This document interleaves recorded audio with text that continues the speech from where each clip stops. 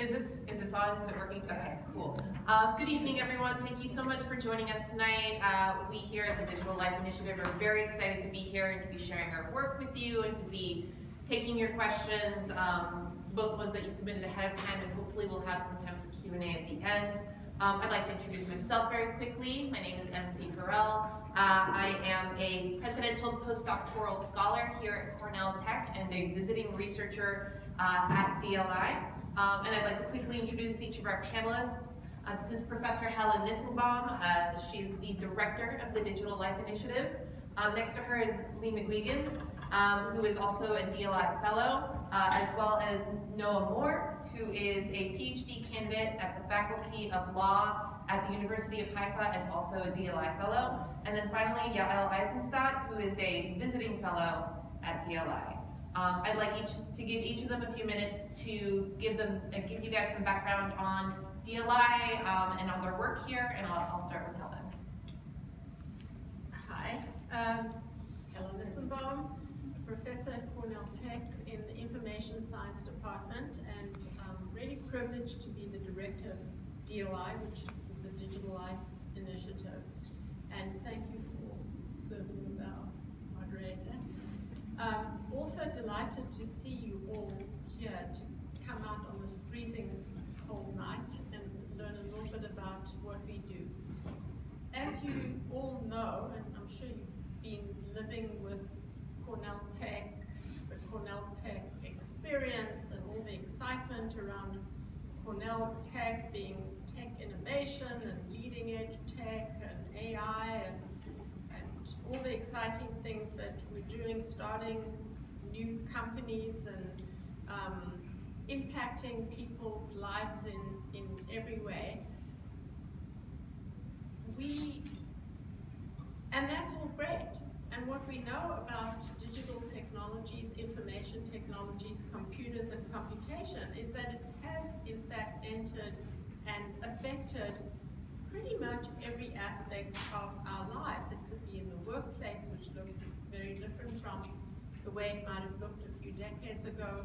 Family life, how many of us um, operate families that are spread all over the country, all over the city, all over the world, using social media, and perhaps we have smart devices in our homes. Certainly we're using our mobile phones and so on. So it, it affects every aspect of life, and so it's very exciting. Lots of billionaires and and every you know every new gadget that we read about. But one of the issues that concerns those of us who, and, and this was what actually compelled me to come to Cornell Tech in the first place, was what about our values? What about ethical, societal values? What is this going to do to politics? And I think we're experiencing some of that today. How are these technologies, as exciting and buzzy and money producing that they are, how are they going to affect the quality of our lives? How are they going to affect the quality of individual lives and how are they're going to affect community life, how are they're going to affect societies that's what is behind the creation of the Digital Life Initiative. Ethics, politics, quality of life. We bring together folks, outstanding young scholars, activists, advocates to come and spend time at Cornell Tech, living within Cornell Tech, working with technologists, but also developing and, and promoting in a rigorous way the ideas behind ethics, politics, quality of life as they affect digital societies. That's what we do. We also hold public events, and I hope that you'll be able to keep track of the events that we hold, and to those events you're more than welcome to attend and participate. We have workshops, we have conferences, and we produce writings, we intervene in public issues, and we help people think about the impacts on their lives and also push back when we think that some of those impacts are problematic. That's what we do, that we're that's what we're going to do. That's part of what the discussion is tonight. And, um, we're just delighted that you came to join us for this discussion, and we hope it won't be the last. Thanks, Mom. I'm sorry to say that I'm getting over a cough, and so um, I don't have much of a voice, so I'm going to keep this a little briefer than I might. Maybe that's to everyone's benefit. We need a little bit the volume a little bit stronger. We cannot hear. I Yeah. didn't hear a word what the lady said. It's possible to make it a little bit stronger. We are not your age, sorry. Uh, There's some problem. I don't, I don't know about the, the volume of the speakers. Did, did, did, did nobody hear the pearls of wisdom that just came out of your mouth? But you have to hold the mic close. Okay. Is that any better? This is about all the voice I have right now, so I, I'm sorry. Um, so my name's Lee, I'm a researcher here. I come from Canada originally, and I spent the last six years at the University of Pennsylvania in Philadelphia studying communications. Now I come here, um, my research looks at a range of issues related to digital technologies and the ways that they affect our cultural and economic lives. Um, in particular, I'm interested in the way that corporations, and especially corporations involved in advertising and marketing, try to shape new media systems and technologies in ways that reflect their values and priorities. So in particular, I'm trying to, I, my work charts the history of how it is the case today that almost everywhere we go and almost every environment we inhabit with our devices or otherwise, um, companies are keeping track of us. They're generating information about all the things that we do, and increasingly things like the moods and emotions that we express, um, where we travel in space, and all that sort of stuff. Um, and use that to try and target us with advertisements or marketing appeals, or to sell the data to other companies who are interested in that sort of thing. Um, this is probably an issue that you've heard about in the news lately. I know it's a big topic. Um, but it really, my view is that the whole history of advertising is one of trying to incorporate the technology, the information and the information technologies that are available to these companies to try and do these sorts of things, to get more information about people so that you can predict and influence their behaviors more reliably. Um, and really it's a history about trying to discriminate more precisely. And that's not just, not necessarily, you know, like a hostile action if we're going to discriminate against people with particular characteristics, even though that is the way that it manifests. But it's, um, a systematic drive to try and be, make finer and finer guesses and bets about how to make two pennies instead of one. And the results of that are affecting our lives in lots of ways, shaping the technologies and the media environments that we use and inhabit um, in ways that I think we're starting to recognize the dark side of today.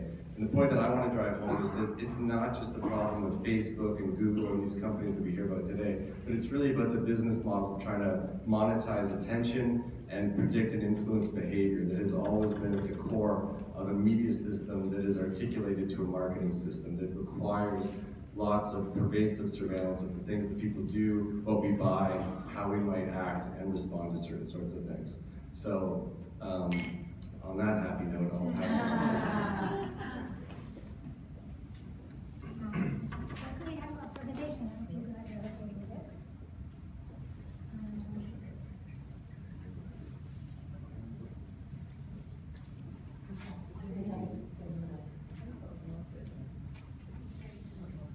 yeah.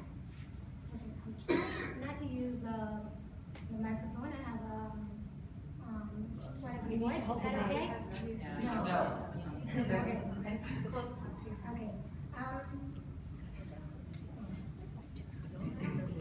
Um, so my research deals with um, social network sites like Facebook and Twitter.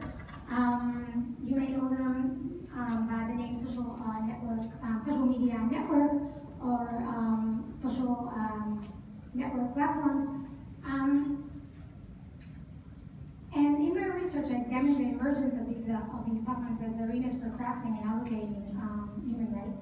And what I believe is happening is that um, this im- immense influence that these platforms have over um, our human rights, their ability to manage our human rights, um, is actually a stresses actually highlights a valid attribute of these uh, platforms that justify the application of uh, uh, public law norms to them. Um, public attributes are, are characteristics that are sometimes or um, often ascribed to um, state actors.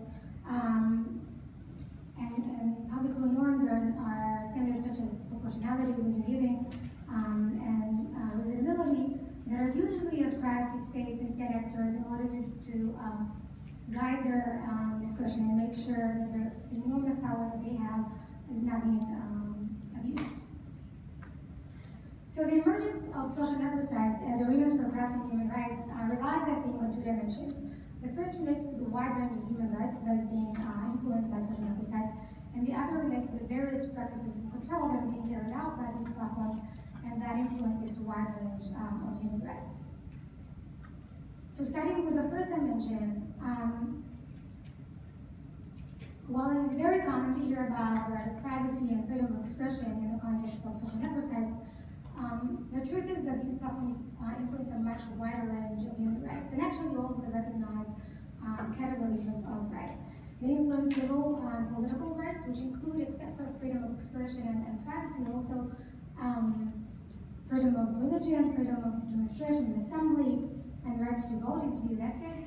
And they also um, influence additional rights as um, um, economic, social, cultural rights like the right to um, education, the right to culture, and various employees' rights like the right to strike. And the ability of social network sites to influence such a wide range of human rights um, is connected, I think, to the uh, powerful social dynamics that flourish throughout these sites and that um, stem from their important role as a means to support relationships. Um, a role that distinguishes social networks from other uh, social media platforms, such as uh, joint projects as uh, Wikipedia or, or blogs. Um, and these social dynamics, dynamics are fascinating. They're, um, they rely upon various uh, factors, such as um, the special way in which we groom and cultivate relationships, um, the social capital that, that is exchanged um, when, it, when interpersonal interactions uh, occur, um, processes of reciprocity, and various and the role that um, strong and weak ties has um, have in our uh, networks. And these social dynamics um, create two types of resources: information resources and, and social communal um, resources that are responsible um, to a great extent to our ability to exercise our rights in these um, arenas. And so the second dimension relates to the various practices of control that are being carried out by these platforms, um, and that influence that wider range of human rights that we've just seen. And, and my researchers have chosen to uh, focus on five of them. Um, surveillance, which relates to the ubiquitous, non-stop uh, processes of collecting and documenting uh, personal information. Profiling, which is the sorting and classifying um, of, of, information for targeted ads uh, used, but also for other purposes like just personalizing the information or the non-commercial information that will that will be exposed to. Censorship, which is becoming more and more um, sophisticated and relies upon various uh, incentives. Um, nexus with authorities uh, includes sharing information with authorities, um, restricting access to information upon authorities' requests, and the whole important realm, which is related to the fact that officials and public servants are also social um, users. Um, and finally, expulsion of individuals and communities by disabling or suspending accounts, uh, pages, and uh, groups.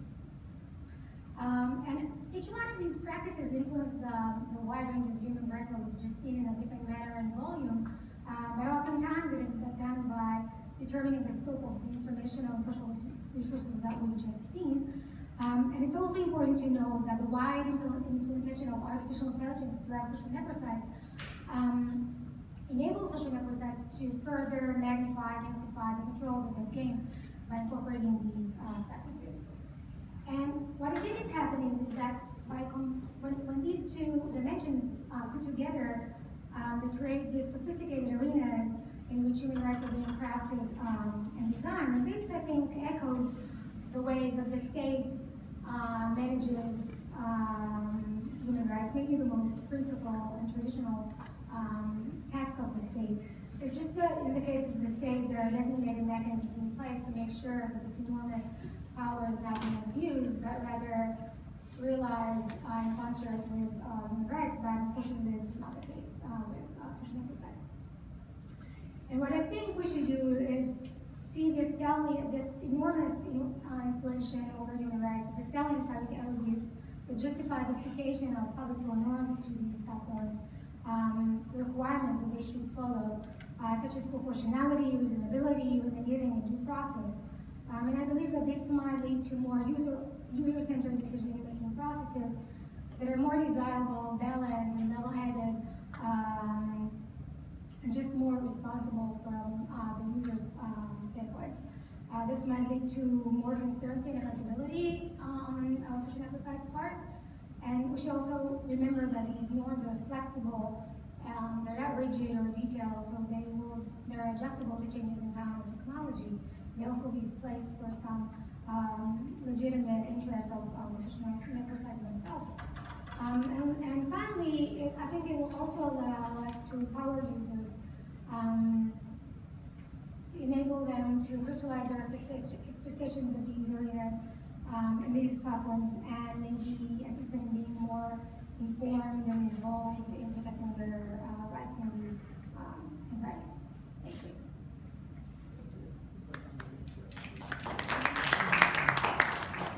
Hi, uh, my name is. I uh, just recently joined as a visiting fellow. I'll be here for a year exploring um, the intersection of technology and civil discourse and democracy. Uh, I come at it from more of a practitioner than an academic background. I spent most of my career in government in the national security world, uh, in the intelligence world, and then as a diplomat, spent a lot of my career overseas. And then I was one of the national security advisors at the White House in 2009, 2010. Uh, most recently, so I left government in 2013 and uh, started exploring what, especially in the last few years, the breakdown of civil discourse in the United States. Not that we haven't always had issues with civil discourse, but I started looking at what was it that was, in my opinion anyway, seeming to be exacerbating uh, this even more, and started digging in particularly on social media. And some of the things, for example, that he was talking about were the, the business models of what, I won't get into, let's talk about business models, but what, what is it that's inherently baked into these business models that's creating a situation where we don't even know how to talk to each other anymore. So that's sort of on a broad level. From there, as I started speaking out on these topics, Facebook called. So I went into Facebook as their head of global elections integrity um, for political advertising, which I'm sure some of you have seen in the news recently. Um, I only stayed six months, so that probably tells you um, where my opinions come from on what they are doing about it. So uh, now the few goals for this year, I mean, the long-term goal for me is to help ensure that government and the tech industry figure out how to work together to help safeguard democracy. The short-term goal is to really dig into some of these issues we still have ahead of the 2020 elections and see if there are any shorter-term things we can do to help ensure that we have as much of a free and fair election as one could have. I'm, I'm not too optimistic about it. Depends on how you define free and fair elections. Um, so some of that includes you know, some of the debates you've heard about how political advertising should work online. Some of that has to do with what I would call, and many would call, the weaponization of social media, disinformation campaigns, all of that. But I think what I'll do now is just leave it for Q&A as opposed to giving a long speech about all my opinions. Okay, so um, as you guys can see, and this is just a, a small taste of the expertise um, at DLI, but we have experts across the issues of privacy, um, advertising, human rights, uh, political, uh, advertising online, social networks. So it's a, it's a broad range of topics that we cover here at DLI. Um, and thankfully, you guys brought a broad range of concerns to uh, to this event. I, want to thank everybody who took the time to fill out the form ahead of time with your questions. It was really useful in helping us um, put this together. So I'm gonna start with some of the questions that we received through that form and see where that takes this conversation, and then we can go to a Q&A with you guys live after those questions. Um, but I, I do want to give due to the, the questions we received ahead of time. Um, and it seemed like I, I noticed a lot of people resonating with that particular question about the 2020 elections. And so I want to kick it to our panel, um, not anyone in particular, because so much, so many of our expertises overlap. Um, but we did receive uh, a few questions about political advertising um, and how it's been in the news. Uh, some people were asking simply, why is it important? Why are we talking so much about this in the news? And so I, I want to put that to our panelists. I'll, I'll be happy to kick off on this this, this is uh, sort of my bread and butter. Um, so right, there's been a lot of talk in the news lately, for those of you who have followed the, the debacle that really flared up after an ad was run on Facebook by the Trump campaign, which showed um, a debunked claim that Joe Biden had called Ukraine, and the, the whole ad in and of itself was debunked. And so it launched this debate whether or not people should be able to lie in ads and what the social media platforms should do about this. Um, this in and of itself is not a debate we're going to solve tonight. It's it's it's an ongoing debate. Um, this is to sound like a plug for myself. I've written quite a bit about it. So, I mean, if you really want to dig in, uh, on the DLI website, you'll find my name and you can see some of the articles I've written about it. But, in a nutshell, the, the regulations and protections, and, and Lee can probably speak to some of this better, uh, as well, if not better than I can, that has generally been the guardrails around how advertising has worked in more traditional media forms in the past, that, that hasn't translated into the digital world. So a lot of these questions about what the rules should be for advertising in social media are still being decided. Um, I do think some of the broader conversations are things that we as a society are going to have to figure out, particularly the debate around freedom of speech versus censorship. So I will just give a quick nutshell of what I personally think about the Facebook debacle that happened a month ago now. Um, when you are taking money for advertising, and this is my personal opinion, when you when your platform is profiting off of not just the ads, but the the whole reason why those ads are so potent is because of the way these social media platforms can target individuals with different information because of the way that their entire business model works, which is predicated on gathering as much data and information as they can about all of us, whether that be because you're looking at Facebook or because they're actually able to track some of your other use around the internet, including what other websites you're clicking on, where you're shopping, things like that. They're able to put together a profile on you, and that profile is a personality profile. You fit into certain buckets, and then when, an, when a political advertiser wants to advertise to you, traditionally they would have to, let's say on network news or even cable news, they could target you by location. They could have different ads run in different markets. But they couldn't get as specific as I want this ad to be shown to women of this certain age who have this certain political leaning, who look like they might be voting for this person. I mean, the specifics, and I won't get into all the details on how targeting works, but it means that you and you might live near each other, but the two of you might be served completely different ads. And if that's the case, then we're not coming from the same starting point. We're not, we don't even have the beginning starting point of where does this conversation begin because we're each being shown different things. So for me, the, the, the big question, the big debacle around whether or not uh, politicians should be allowed to lie in ads, again, that is a bigger debate about how you feel about freedom of speech versus paid advertising. My bigger concern is the way we are able to be targeted with those ads and if we allow unchecked lying in political advertising to be hyper-targeted to us, there is no way that's an even playing field for what a democracy needs in order to thrive. So that's my, as high level as I can get. Sure, I can say a little bit about that. I think those are great points. And it's interesting to compare it to the way that other media have been regulated with respect to political advertising. So what Facebook basically did is adopt the same position that broadcast stations used to adopt, which was, we're not gonna, you know, we'll take whatever political ads you give us, we're not gonna edit them, we're gonna show them. We're a common carrier because the rationale decided by the FCC is that the broadcast spectrum, the airwaves through which you're delivered the television or radio signals, is a public resource.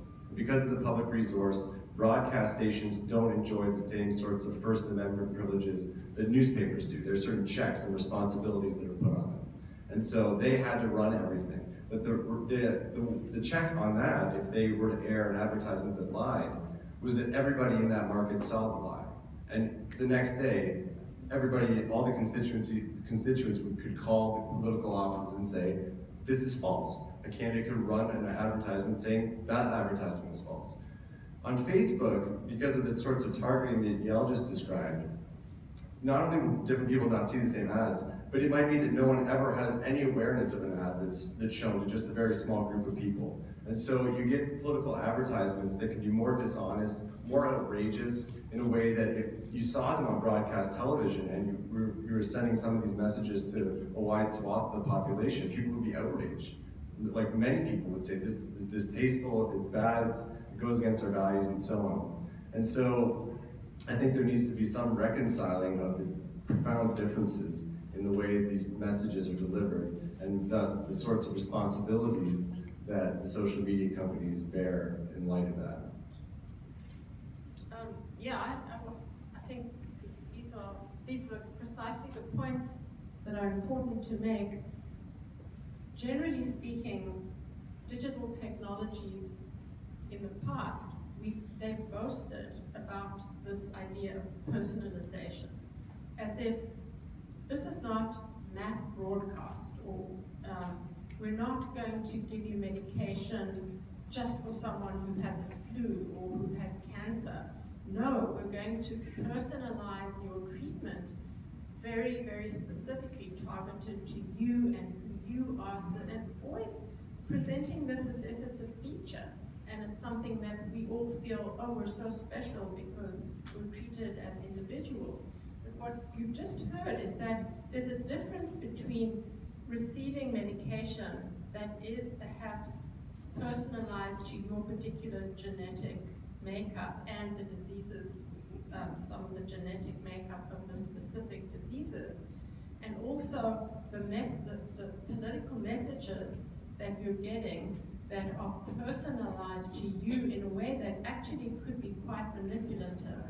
And so what's sad about what's been happening is that we often, we often would see the same thing, turn to each other and say, well, what do you think about that? But as we've just heard, that civil discourse that allows us to talk with our neighbors and argue and disagree is not, we're being deprived of that. And this concept of personalization, which has been considered as a strength of digital technology, is now being weaponized against not only individuals, but rather some of the societal values that we hold dear.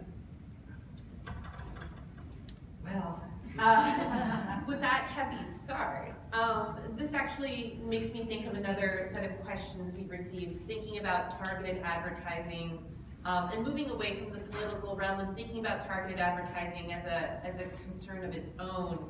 Um, there were a lot of questions that we received about being tracked online, um, how our information is getting used to target us for advertisements, or how it's getting used in ways that are, are maybe more invisible to us as we move about online. Um, and so I was wondering if our panelists could speak to maybe some of the different ways that our information can be taken and used online, and maybe briefly on some ways that we can protect ourselves. And I, I'm gonna ask that question with the caveat that we're also going to, we also have resources to share with you guys that you can take home um, not printed resources, but like uh, online resources we can share with you if this is a concern of yours. So we'll be giving some advice here on the stage today, but if you have these concerns, please come up to us and talk to us afterwards and we can share these resources with you.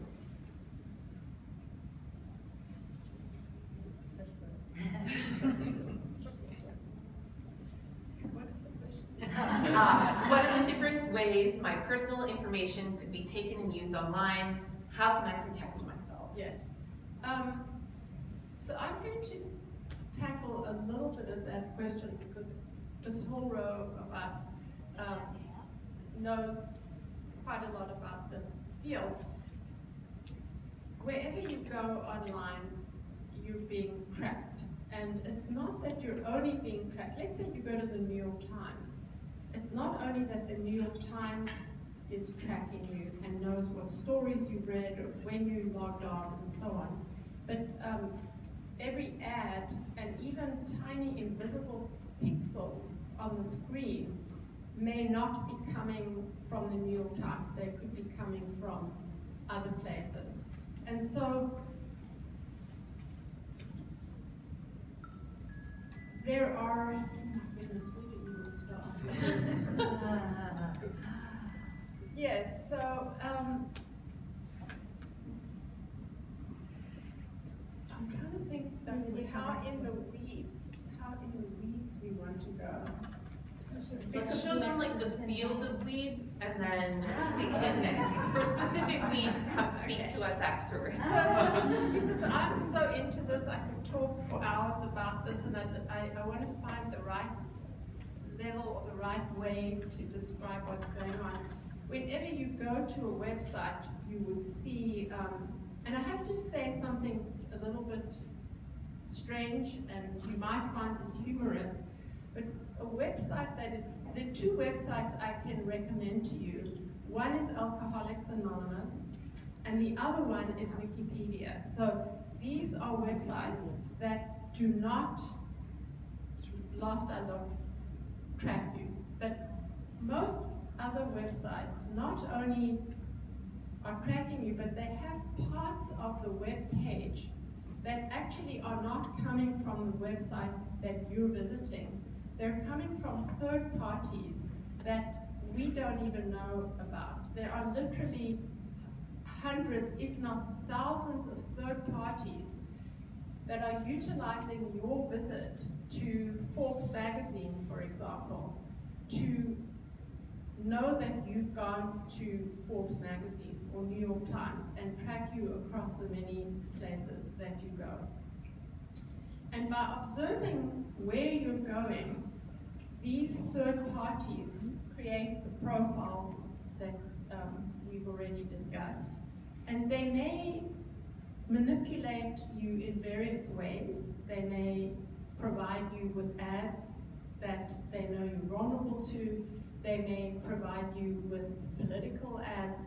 And that's all because of this tracking that's going on, the surveillance that's going on every time you visit a website on the web. Now, one of the, one of the um, discoveries that has been made a little bit more recently is something called dark patterns, where social scientists have discovered ways that people are vulnerable to various kinds of sales pitches, and again, make people visiting websites more vulnerable to certain kinds of manipulations. So the question about what we can do about this, there, there's some things we can do about this, but I think Yael is going to tell us really what will have an impact. There are ways we can protect ourselves. And one of the most important ways to protect ourselves against some of what's going on is precisely what we're doing today, which is people becoming more engaged, more knowledgeable. And then there's small things that we can do that make us, you know, not sitting ducks, but then there are bigger things that people empowered with knowledge and information will be able to do. It to whoever wants. So, um, just to follow up on that, I think that, in. I think that in terms of, um, what are the types of tracking that are going on. I think it's beneficial um, to maybe start with looking at the actors. And I think, um, so one, one major actor are, um, are the websites themselves, especially major dominant uh, websites or platforms. Um, and, and one of their interests is trying to track and understand you as, as much as possible in order to make you more engaged, um, meaning um, personalizing the information that will be introduced uh, to you so you would have incentives to keep on spending time, um, liking posts, retweeting them, sharing them. So the whole cycle uh, keeps going. This is one um, major actor. And then there's the advertisers who have interest on you clicking on ads and um, uh, purchasing the, um, products and services through their um, through these ads. And there are additional um, important stakeholders there. There's the data brokers, who just their job is just to aggregate as, as much as, as, as possible data about you and to sell it to different um, um, actors. Um, and there's also uh, authorities involved in this whole uh, ecosystem. Um, and just um, one little addition to the how to protect yourself, I think one of the things that we should do is just try to to go to the to the um, settings. This is one of the things we should do. I know it's a little bit overwhelming at first. We should go to the settings because usually the, the, the default settings are not set uh, in a way that serves our uh, interests. We should go there and try to, to change uh, the settings so it would um, allow us a little bit more control of what's going on with our data. Um, you can, if you just do a little search, you might uh, find some uh, very accessible uh, resources to help you how to, to do that. Um, there's, um, you can uh, change the settings of the browsers and, and of your um, devices. And, and, like Helen said, I think one of the most important things is just, just insisting on being involved uh, and informed. And there's so many uh, resources. We have our podcast, uh, Abudilai, um, but many, many other resources that are available and, and accessible for free. Um, and I think that we just have to insist on being in this cycle of uh, decision making. One thing to, to add maybe too is to consider that not only are we tracked online, but we're tracked in almost all of the activities we do as citizens and consumers, not almost, but, but very many of them. So for example, when you use a credit card, when you buy and register an automobile, when you get insurance, when you subscribe to a magazine, companies and parts of government are collecting the data about this for legitimate reasons often, because they want to serve you better, um, or they need to keep registries for particular reasons that have to do with things that I think we could think or we could agree are quite reasonable. What's interesting though and troubling about the digital advertising space is that as uh, Noa mentioned, there are these data aggregator companies, companies you may or may not have heard of, like Acxiom or Experian, a credit uh, rating agency. Companies like this that uh, take data from all these different places, from the DMV, from magazine publishers, and they bring it all together into this pool. Because some of it's available publicly, like that you own a home, for example, things like that, they can bring together and create a picture of you and of what you might be worth. Because the way that the sort of money flows is that there are advertisers who are interested in influencing you. And they want to do that as cost effectively as they can. And so the starting point for that is that they want to know as much about you as they can so that they're targeting the right people with their advertisements. If they sell dog food, they don't want to target people who own cats, right? This is the classic example of waste that they're trying to eliminate. But they also want to know that their advertisements worked and they want to know that they ran the way that they paid for. So the publishers and companies on the other side are also tracking the places we go so that they can know how big was the audience that saw this advertisement. It was the right price paid and all of that. So the point is that there's a sort of systematic imperative toward collecting lots of information about us. Um, the way this looks in practice on the web, for example, is using a technology called the cookie. Have people heard of a web cookie before? Yes, yes. Okay. So the interesting thing about the cookie is that it's actually on its way out, probably. Um, it's been made like quasi-illegal by the European Union's data rules and by the data laws passed in California recently. Um, and so it still persists. This, a- for, if you don't know, a cookie is basically a piece of software that a website installs on your computer that acts as a persistent identifier for your device, so that, that a so you can be tracked across different websites. Um, the, uh, the reason for it was actually for, for online shopping carts, so that if you put a pair of shoes in your shopping cart, you could go back and keep shopping, and those shoes wouldn't disappear from your shopping cart. So it's actually a reason that people probably think it makes sense, but it, it really. So the interesting question is what's gonna happen next? If the cookie goes away, and the cookie is the basis for a huge proportion of the behavioral advertising that exists right now. Behavioral advertising meaning advertising that's targeted based on records of your behavior what's going to happen next. And some of the, the proposals that companies and advertising organizations are floating are much scarier. They're like these personal fingerprints um, that are going to be persistent not only as you browse the internet, but across the different devices you use. So there are ways that companies can assign a, a unique identifier to you based on your, let's take your cell phone for example. Most people here have smartphones increasingly and by not looking not only at the places you go and where you access the internet, but the apps that you have. Um, there are even like weird things like different settings that you have on your phone that create a unique identifier that's that's just your own and different from every other cell phone based on these tiny little things. Now, industry will say that that's not personally identifiable information because it's not necessarily tied to your name and address. Um, I'm not convinced that it's more important to have a name. Like, I'm not sure it really matters if you're known by your name or if you're known by a numeric identifier. The, point is that we understand how you, uh, you know, act and to be there. Um, and apps are a place. Uh, if you use apps on your phone, that's a great place to try and. Um, do you want to say something? Oh, no, just that now I'm kind of scared.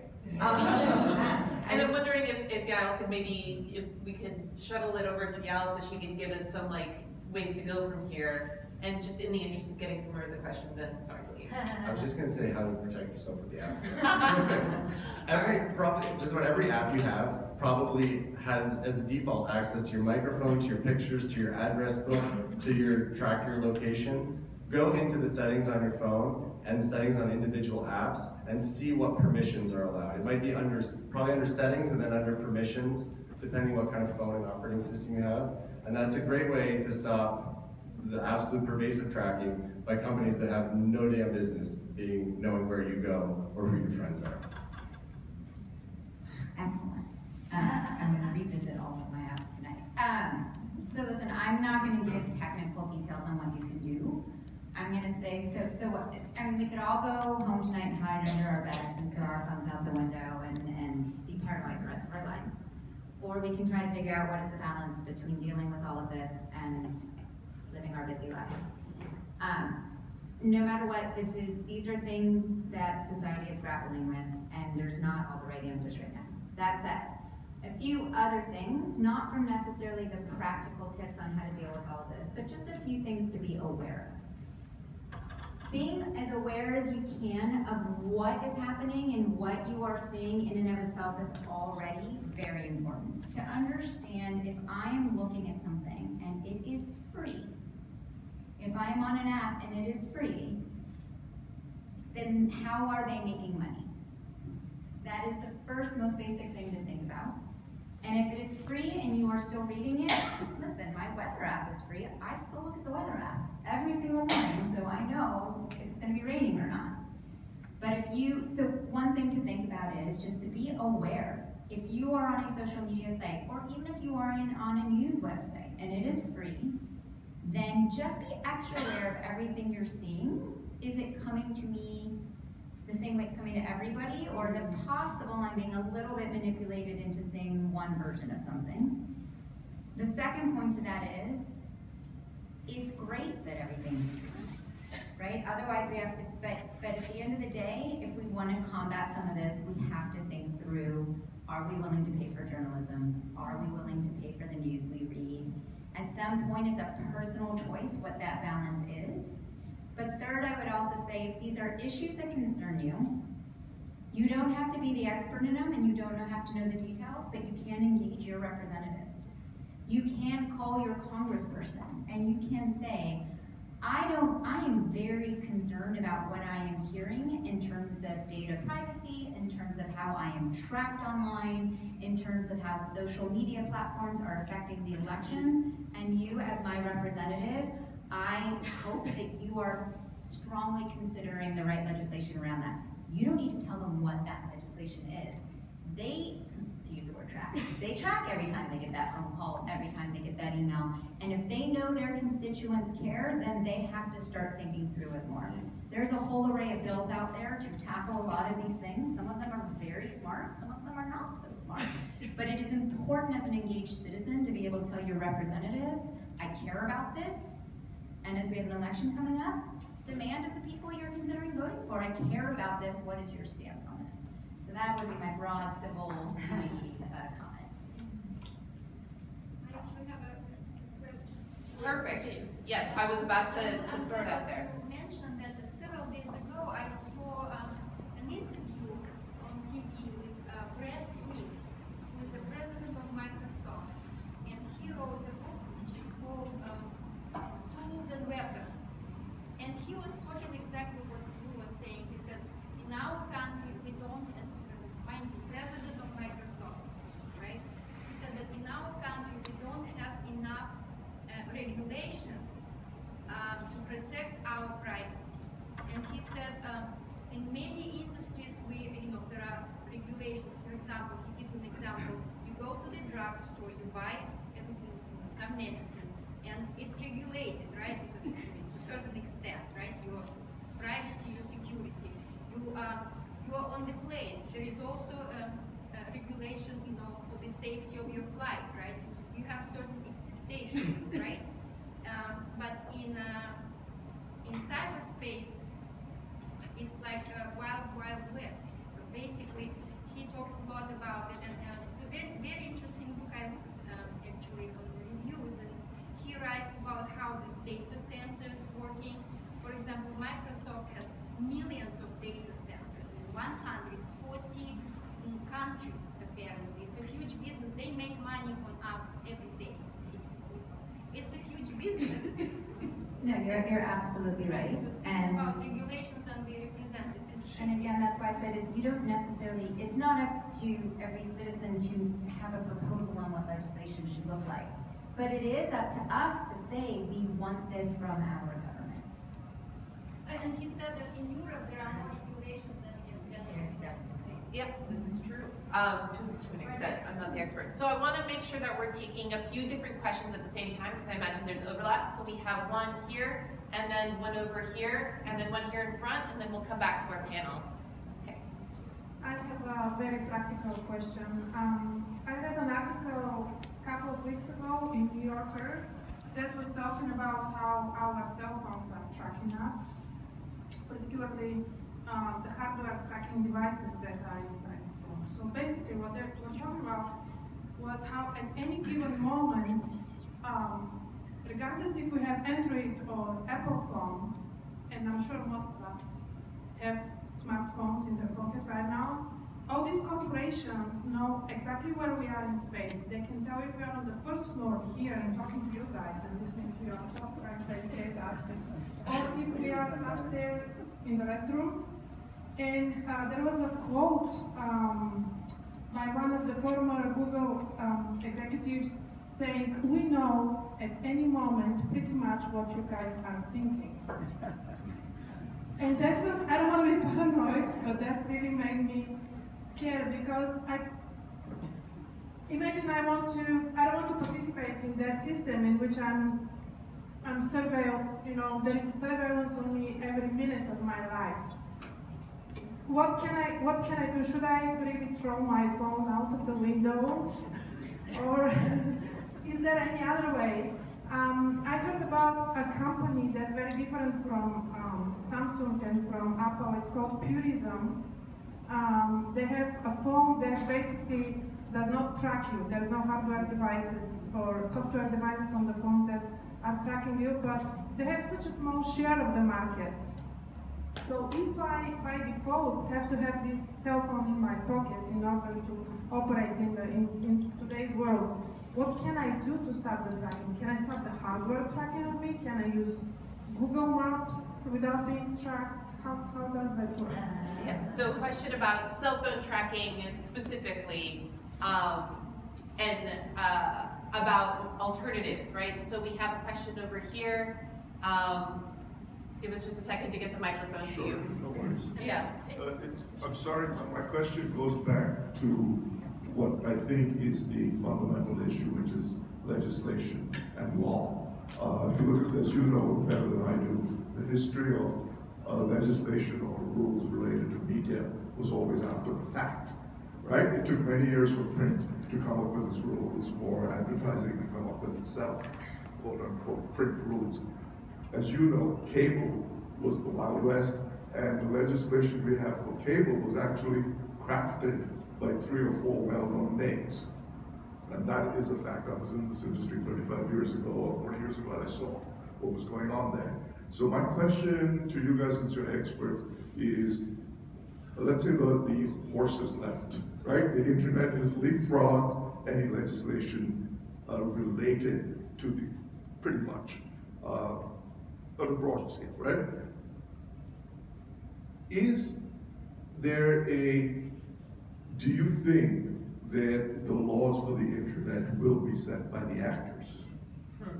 As has happened with other media? Uh, oh, sorry, whoever is, who care um, to. No, I'm, There's- there's I, one more. I know, I have to leave, mm-hmm. so if he wants me to give, I'm sorry, I have to go to another event. So, But I can give a really quick thought on that if you want. yeah, well, we have the microphone moving, yeah. Okay, so just, I really apologize, I have to leave a little bit early. Um, you are correct that legislation will always be playing catch-up. It doesn't mean I think that there is no potential to steer some of this ship back in a direction that it, it's, we are never gonna get legislation that is going to tackle every single one of these issues. It's gonna tell you exactly whether or not you can be tracked by your hardware, exactly how Facebook has to operate. But I do think there's some broader guardrails that many smart people are thinking through in terms of legislation. Um, I, I don't, I think it's very, I think there's a little bit of a self-serving talking point, especially for the Silicon Valley, to say it's too complicated, you're too late. I fundamentally disagree with that. That's one of the ways to get people to give up on trying to legislate in a smart way. Um, I won't go through every bill, there's some really interesting ones out there. I, I, it's complicated, but I don't think it's a lost cause. But will the actors Should we set the just- rules can as we they did just at take- cable? let's just I take don't that. know. We can return to that, actually, we have a historian who Oh, will be yeah, remaining right, with right. us. So I wanna give, um, the opportunity to ask the last question, and then we can address these, because I, I do think there's a lot of really productive overlap here, so please. Any quick point of information, uh, the PBS NewsHour recently had a person on who detailed how he, how it was possible to insert information somewhere that Hillary Clinton had this unknown bad disease. And I remember in 2016 in the election, I was thinking, wait a minute, I know from a really good source, Hillary Clinton has this disease. Now, how can we be more aware of this horrible type of thing? Excellent. So awareness, hardware, legislation, I, Helen, I know that you had some Yeah, thoughts. well, I wanted to address the, the kind of, one type of question, which is to say, how can we stop the phones from tracking us? How do we, and that, the phones need to track us in order to know which cell tower to talk to. So the, the phone needs to know that it's at this spot in order to send its signal to the cell tower in order to function. So there's information that does need to flow in society, and I think all of us would support the idea that sharing information is a good thing and it helps society function.